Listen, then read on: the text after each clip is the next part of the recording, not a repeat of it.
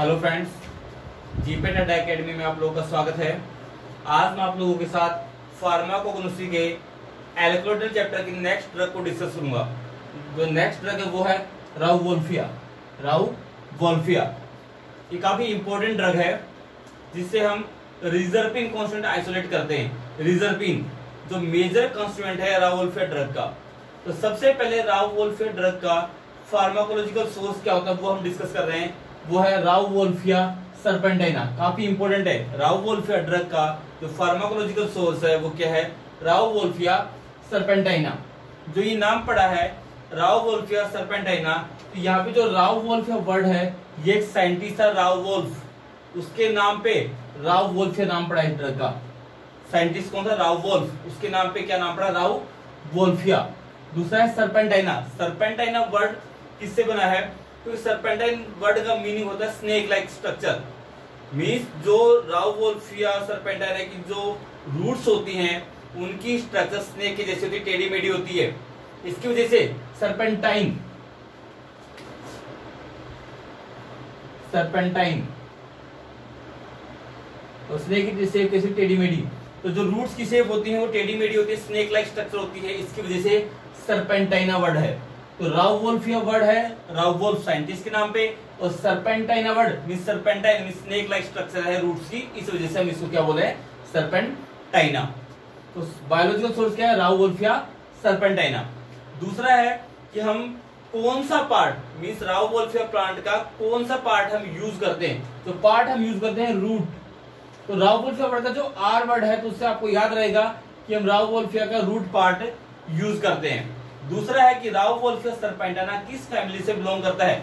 Are के बाद word है ए ए सी क्या आएगा? अपोसाइनेसी.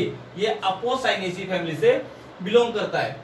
थर्ड है कि ये किस क्लास है ये एल्कोडल कैटेगरी से बिलोंग करता है।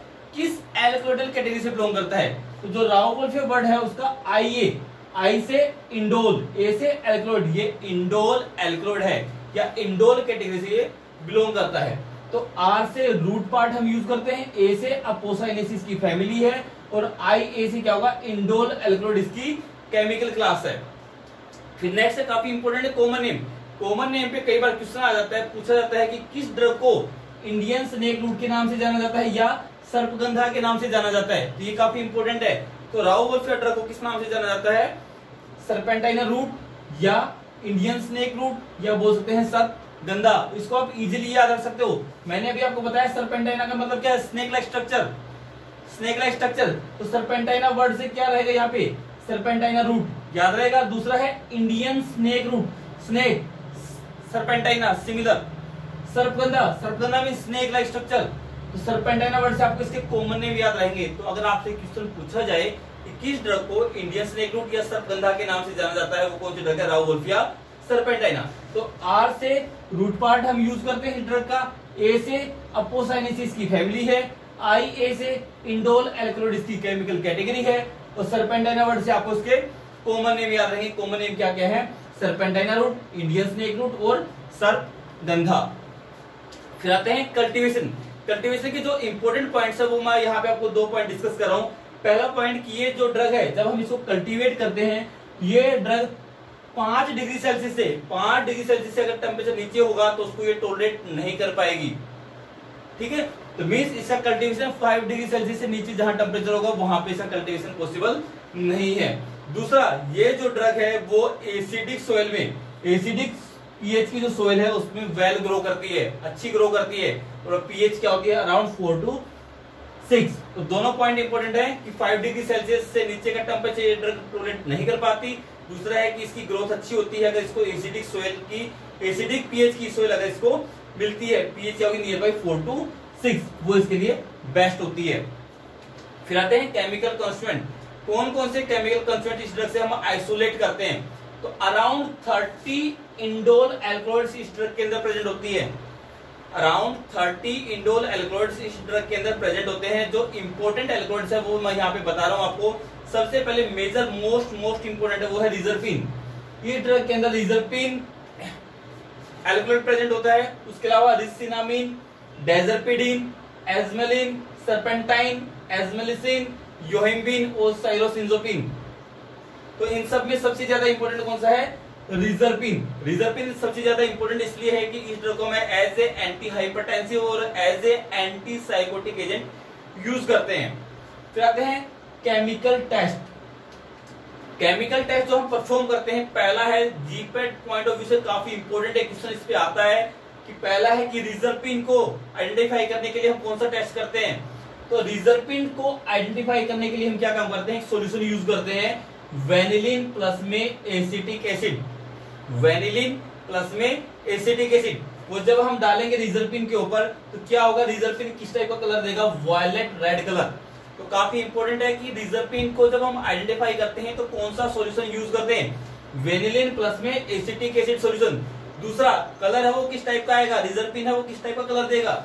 होगा वायलेट रेड कलर तो रेड कलर को आप इजिली रख सकते हो रिजर्पिन आर वर्ड से स्टार्ट हो रहा है।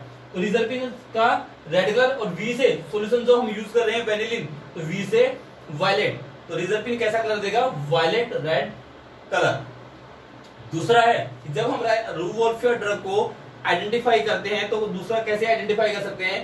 कि जो freshly fractured freshly fractured rauvolfia drug हम लेंगे तो उसके ऊपर जब हम कंसंट्रेटेड नाइट्रिक एसिड डालेंगे, ध्यान रखना कौन सा मैं नाइट्रिक एसिड बोल रहा हूँ? कंसंट्रेटेड नाइट्रिक एसिड वो जब हम डालेंगे तो क्या होगा? जो फ्रैक्चर्ड सरफेस है रूवोल्फिया का, उसकी जो मेडुलरी रेज है, कौन सी रेज मेडुलरी रेज वो किस टाइप का कलर शो करेंगी? रेड कलर तो दोनों टेस्ट में अगर आपको इंपोर्टेंट पॉइंट क्या लगेगा कि दोनों का जो कलर है मेजर क्या रहा है? रेड कलर आ रहा है। रिजर्पिन है वो वेनिलिन प्लस में एसिटिक एसिड के साथ वॉयलेट रेड कलर दे रहा है। दूसरा, जो रूवोल्फिया ड्रग का फ्रेशली फ्रैक्चर्ड सरफेस है, उसकी medullary rays concentrated nitric acid के साथ कैसा कलर दे रही है? Red colour. तो दोनों पॉइंट इंपोर्टेंट है। ये टेस्ट काफ़ी बार पूछा जाता है। रिजर्पिन का मोस्ट मोस्ट इंपोर्टेंट टेस्ट है। उसके बाद यूजेज यूजेज में क्या है कि जो कंप्लीट रोवोल्फेयर ड्रग है, उसको मेनली हम कहाँ पे यूज़ करते हैं? As a anti hypertensive drug means ये ड्रग क्या काम करती है? हाइपरटेंशन को कम करती है। दूसरा एज ए ट्रैंकुलाइजर भी हम इस ड्रग को यूज़ करते हैं। ट्रैंकुलाइजर क्या होता है कि वो ड्रग जो एंजाइटी को कम करती है। As a anti as well as tranquilliser जो एंजाइटी को कम करे, वहाँ पे यूज़ करते हैं। दूसरा आता है कि रिजर्पिन रिजर्पिन क्वेश्चन काफ़ी है। इस ड्रग का जो मेजर यूज़ है, वो क्या है कि इस ड्रग को हम as a anti hypertensive use करते हैं। दूसरा as a anti psychotic agent use हम यूज़ यूज़ करते हैं। लेकिन रिजर्पिन ड्रग का मेजर जो ड्रॉबैक है, ये ड्रग डिप्रेशन कोज करती है। क्या कोज करेगी? डिप्रेशन कोज करती है। मोस्ट जो आप बोल सकते हैं इंपोर्टेंट साइड इफ़ेक्ट है इस ड्रग का, वो क्या है? ये डिप्रेशन कोज करती है, साथ में ड्रग सीडेशन भी कोज करती है। तो reserpine drug anti hypertensive means hypertension को कैसे कम करती है वो आपको मैं बता रहा हूँ।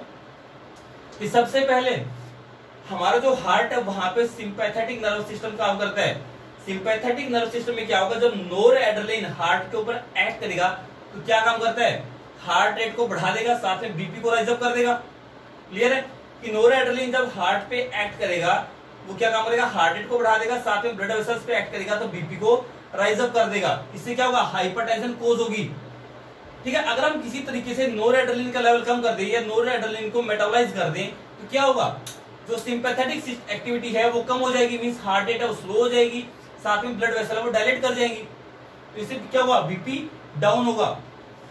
यहाँ पे मैंने एक डायग्राम शो किया है, जो ग्रीन पार्ट में एक नर्व है। इस नर्व के अंदर क्या होता है कि नोर एड्रेलिन की सिंथेसिस होती है। नोर एडलिन जब सिंथेसाइज होगा तो क्या होता है कि अगर वो नर्व के साइटोप्लाज्म के अंदर प्रेजेंट रहेगा, अगर नोर एडलिन अगर नर्व के साइटोप्लाज्म के अंदर फ्री फॉर्म में प्रेजेंट रहेगा तो वहाँ पे एक एंजाइम होता है माओ ए, माओ। माओ एंजाइम होता है मोनो अमीन ऑक्सीडेज। वो माओ एंजाइम क्या काम करता है? नोर एडलिन या जो मोनोमीन है, उसको मेटाबलाइज कर देता है। तो माउस को मेटाबलाइज कर देगा, अगर वो साइटोप्लाज्म के अंदर प्रेजेंट होगा तो क्या होगा? अगर वहाँ पे प्रेजेंट हुआ तो क्या होगा? नोरेड्रिलिन डिस्ट्रॉय हो जाएगा मेटाबलाइज हो जाएगा। तो इसके लिए नर्व के अंदर क्या होता है कि छोटी छोटी वेसिकल्स प्रेजेंट होती हैं। उन वेसिकल्स के अंदर नोरएड्रेनालिन स्टोर कर दिया जाता है।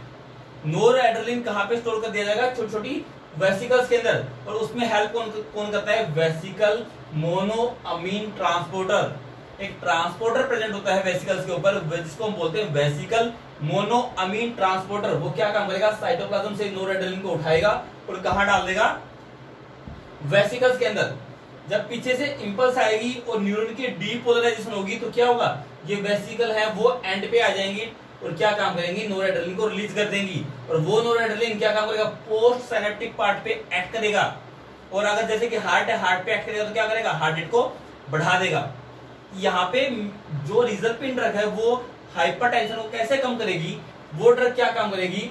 ये जो वेसिकल मोनोअमीन ट्रांसपोर्टर है, इस वेसिकल मोनोअमीन ट्रांसपोर्टर को इनिबिट कर देती है। अगर ये ट्रांसपोर्टर इनिबिट हो जाएगा तो क्या होगा? नोर एड्रेलिन वेसिकल के अंदर स्टोर नहीं हो पाएगा। वेसिकल के अंदर स्टोर नहीं हो पाया तो क्या होगा? नोर एड्रेलिन कहाँ प्रेजेंट रहेगा? साइटोप्लाज्म के अंदर। और साइटोप्लाज्म के अंदर क्या है? कि जो माओ एंजाइम है, वो माओ एंजाइम क्या काम करेगा? नोर एड्रेलिन को मेटाबोलाइज कर देगा। मेटाबोलाइज करेगा तो क्या होगा? न्यूरॉन के अंदर नोर एड्रेलिन का लेवल कम हो जाएगा। नोर एड्रेलिन का अगर लेवल कम हो जाएगा तो क्या होगा? जो हार्ट रेट बढ़ी थी या जो ब्लड वेसल्स की कॉन्स्ट्रिक्शन होनी थी ब्लड बीपी राइज अप होना था, वो अब नहीं हो पाएगा। प्रियडर क्या काम करती है? रिजर्पिन को वेसिकल के अंदर स्टोर होने से रोकती है by inhibiting the vesicle monoamine transporter clear है? ड्रग इस टाइप से काम करेगी? एज ए एंटी हाइपरटेंसिव दूसरा ये drug as a antipsychotic agent भी काम करती है। साइकोसिस में क्या होता है कि जब साइकोसिस किसी पर्सन के अंदर होती है तो वहाँ पे मिजोलिम्बिक जो पार्ट है तो उसके अंदर डोपामिन की ओवर एक्टिविटी होती है। डोपामिन का लेवल बहुत ज़्यादा बढ़ जाता है, जिसकी वजह से पर्सन को क्या होगा? साइकोसिस कोज होगी। तो हमारी जो जो ड्रग है रिजर्पिन ड्रग वो क्या काम करती है? सेम मैकेनिज्म न्यूरॉन के अंदर डोपामिन को वेसिकल के अंदर स्टोर होने से रोकती है। अगर वेसिकल वेसिकल के अंदर स्टोर करने में हेल्प कौन करेगा? वेसिकल मोनोअमीन ट्रांसपोर्टर डोपामिन की भी हेल्प करता है तो साथ में नोरेडलिन की भी। तो डोपामिन जब जब ये drug reserpine VMAT vesicle monoamine transporter को रिपीट कर देगी तो क्या होगा? डोपामिन है वो वेसिकल के अंदर स्टोर नहीं हो पाएगा। मीन्स वो साइटोप्लाज्म के अंदर प्रेजेंट रहेगा, वहाँ पे क्या काम करेगा? माओ एंजाइम उसको मेटाबोलाइज कर देगा। इससे क्या होगा? न्यूरॉन्स के अंदर डोपामिन का लेवल कम हो जाएगा। और हम क्या बोल रहे साइकोसिस किसकी वजह से हो रही थी? डोपामिन की ओवर एक्टिविटी की वजह से। तो इस ड्रग ने क्या काम कर दिया? डोपामिन को मेटाबोलाइज करते मीन्स लेवल कम हो जाएगा, डोपामिन का ब्रेन के अंदर। कहा पे? मिजोलिमिक पार्ट की बात करें तो वहाँ पे क्या होगा as a anti psychotic agent ये ड्रग काम करेगी। है दूसरा है रिसिनामिन हाँ साथ में मैं आपको बताया था कि रिजर्पिन ड्रग का मेजर जो ड्रॉबैक है या साइड इफ़ेक्ट है, वो क्या है? डिप्रेशन कोज करती है। डिप्रेशन कैसे कोज करती है? हमें पता है कि जो न्यूरो नोर एड्रलिन है न्यूरो वो ब्रेन के अंदर हैप्पीनेस के लिए रिस्पॉन्सिबल है। ठीक है, जो हमारे इंथुजियाज्म या हैप्पीनेस के लिए रिस्पॉन्सिबल है नोरेड्रिन जब ये ड्रग क्या काम कर रही है? नोरेड्रिन को वेसिकल के अंदर स्टोर होने से रोक रही है। अगर वहाँ पे स्टोर नहीं हो पाएगा तो क्या होगा? नोरेड्रिन का लेवल कम हो जाएगा। नोरेड्रिन का लेवल कम होगा तो ब्रेन के अंदर भी कम होगा तो ये ड्रग क्या काम करेगी? नोरेड्रिन का लेवल कम हुआ तो क्या हुआ? डिप्रेशन कोज होगा। तो इस ड्रग की जो लिमिटेशन है, वो क्या है कि ये ड्रग डिप्रेशन है, वो साइड इफ़ेक्ट कोज करती है, इस वजह से इस ड्रग को हम कम यूज़ करते हैं रिजपिन ड्रग को। फिर रिसिनामिन रिसिनामिन डेजरपिडिन और साइलोसिंजोपिन इन ड्रग्स को भी, या इन कंपाउंड्स को भी, या इन एल्कलॉइड्स को भी हम कैसे यूज़ करते हैं? As a anti hypertensive agent हम यूज़ करते हैं। और नेक्स्ट एजमेलिन एजमेलिन को कार्डियक एल्गीमिया में भी यूज़ करते हैं। फिर नेक्स्ट है इंपोर्टेंट पॉइंट कि और स्पीसीज है राव वोल्फिया की, वो नेक्स्ट स्पीसीज है, वो है राउवोल्फिया वोमिटोरिया। राउवोल्फिया वोमिटोरिया के से रिलेटेड इंपोर्टेंट पॉइंट क्या है कि इस ड्रग को हम अफ्रीकन राउवोल्फिया के नाम से भी जानते हैं अफ्रीकन राउवोल्फिया तो कई बार पूछा, पूछ लिया जाता है कि कौन सी ड्रग को अफ्रीकन राउवोल्फिया के नाम से जाना जाता है? कौन सी की राउवोल्फिया वोमिटोरिया। दूसरा इंपोर्टेंट पॉइंट है कि कई बार पूछा जाता है कि रिज़र्व पिन का कॉमर्शियल सोर्स कौन सी स्पीसीज है? तो कॉमर्शियल सोर्स कौन सा है? Rauvolfia vomitoria means commercially reserpine को हम किस स्पीसीज से आइसोलेट करते हैं? वो है रोवोल्फिया वोमिटोरिया तो commercially commercial source of reserpine is rauvolfia vomitoria next है कि इस ड्रग से का इंपॉर्टेंट पॉइंट क्या है कि बाकी स्पीसीज से थोड़ा सा स्ट्रक्चर में डिफरेंस क्या है? कि इस ड्रग के अंदर राउवोल्फिया वोमिटोरिया के अंदर फाइव डिसकंटिन्यूड रिंग या बैंड प्रेजेंट होते हैं स्क्लेरेंकाइमा के। Five discontinued bands of sclerenchyma इसके अंदर प्रेजेंट होंगे। साथ में लार्ज वेसल्स भी इसके अंदर प्रेजेंट होती है।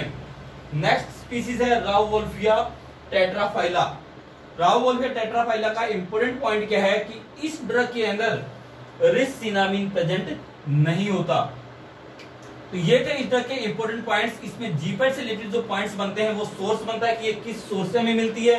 कौन सा पार्ट हम इसका यूज़ करते हैं, इसकी फैमिली कौन सी है, या ये किस कैटेगरी से बिलोंग करता है, और नेक्स्ट है कि कॉमन नेम इस ड्रग का कौन सा है।